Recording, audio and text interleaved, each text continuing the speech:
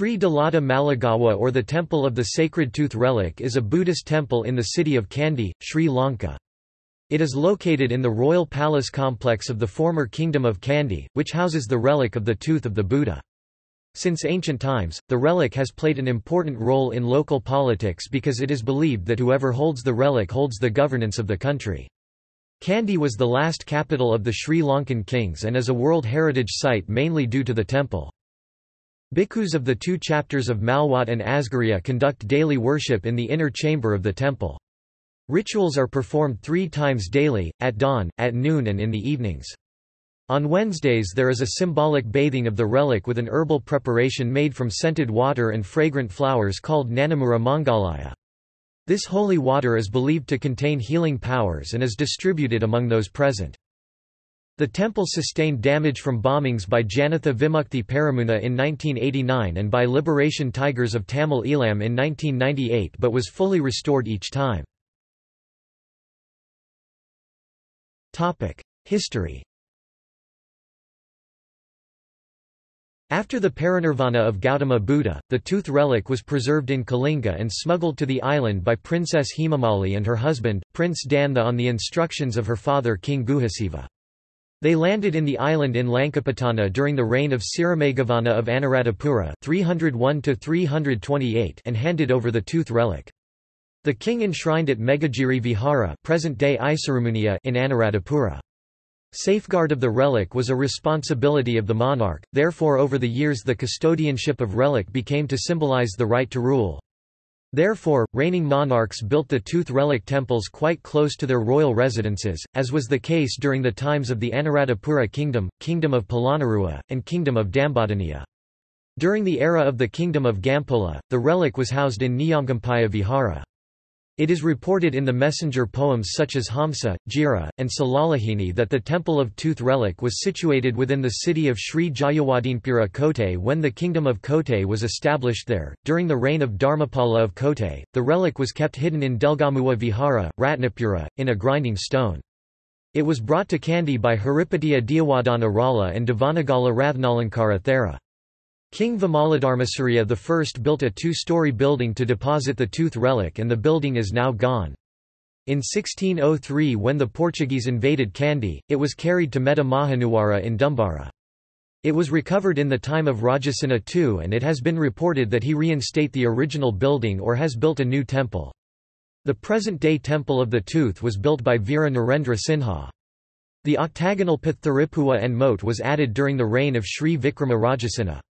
The royal architect Devendra Mulacharya is credited with building the Patharipua. Originally it was used by the king for recreational activities and later it was offered to the tooth relic. It now houses the temple's library. The temple has been attacked on two occasions, in 1989 by the Janatha Vimukthi Peramuna and then in 1998 by the militant organization Liberation Tigers of Tamil Eelam. Architecture The brick wall which runs along the moat and Bogambara Lake is known as Water Waves Wall. Holes in this wall are built to light coconut oil lamps. The main entrance gate which lies over the moat is called Mahawahakata. At the foot of Mahawahakata steps there is a Sandakata Pahana moonstone which is carved in Kandyan architectural style. Mahawahakata was totally destroyed in a 1998 bomb blast and rebuilt afterwards along with Sandakata Pahana other stone carvings. Elephants are depicted in stone on the either sides of the entrance. A Makara Torana and two guardian stones are placed on top of the staircase. Hewisi Drummer's chamber is situated in front of the main shrine. The two stories of the main shrine are known as Pal Malaya, lower floor, and Udu Malaya, upper floor, or Weda Hatina Maligawa. The doors of the Weda Hatana Maligawa are carved in ivory. The actual chamber which the tooth relic is kept is known as the Handan Kunama. The golden canopy over the main shrine, built in 1987 by Prime Minister Ranasinghe Premadasa, and the golden fence which encircles the main shrine are other notable features. The tooth relic is encased in seven golden caskets which are engraved with precious gemstones. The caskets have a shape of a stupa. The procession casket which is used during the Kandy Asala Perahera is also displayed in the same chamber.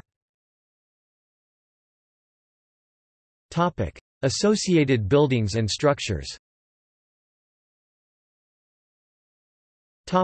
Royal Palace. The Royal Palace is situated to the north of the temple. John Pybus, who was on an embassy in 1762, gives a detailed description on the Royal Palace. Vikramabahu III of Gampola R. 1356–1374 and Sena Samatha Wikramabahu of Kandy R. 1469–1511 built royal palaces on this site. Vimaladharmasuriya I of Kandy undertook various decorations to the palace. The Dutch Orientalist Philippus Baldaeus visited the palace with General Gerard Peters Hulft in 1656. The royal residence was known as Maha Wasala in Sinhalese starting in the Polonnaruwa period. The royal palace is also known as Malagawa. There were three wahakadas and a 8 feet meters high wall used as main entrances. The section of the palace facing the Natha Devale is said to be the oldest. During the beginning of the British period, it was used by government agent Sir John D'Oyly, 1st Baronet, of Kandy. Successors of D'Oyly have continued to use it as their official residence. Today it is preserved as an archaeological museum. Ulpen Jay and Queen's Palace are the associated buildings of the palace. Audience Hall The Audience Hall or Magul Maduwa is where the Kandyan kings held their court. It was completed during the reign of Sri Vikrama Rajasinha. The carvings of the wooden pillars which support the wooden roof are an example of wood carving of the Kandyan period. Sri Rajadhi Rajasinha of Kandy built it in 1783. The hall was renovated for the reception of arrival of Albert Edward, Prince of Wales in 1872. Originally the hall was 58 by 35.6 feet 17.7 meters times 10.9 meters. After renovation, its length was extended by an additional 31.6 feet 9.6 meters. Other nearby building to the halls believed to be demolished during the British rule. The audience hall was the venue where the Kandyan Convention was drawn up, it was where the convention was read out to the people and where the conference, about the convention was held on 2 March 1815. That space was later used to erect the Kandy Kachcheri and Kandy Supreme Court. Today it is used for state ceremonies and conserved under the Department of Archaeology. Mahamaluwa Mahamaluwa is public who came to see the annual Asala Perahera. Today it contains a statue of Madduma Bandara. The memorial of which contains the skull of Keppetipola Disawe as another attraction. The statue of Princess Hemamali and Prince Dantha are also located here. See also Diyawadana Nilame Chief Lay Custodian Asala Perahera. Topic. Notes. Topic. References. Topic. External links.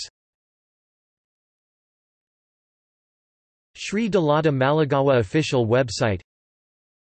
The Kandy Asala Perahera. The Kandy Asala Perahera Magnificent Pageant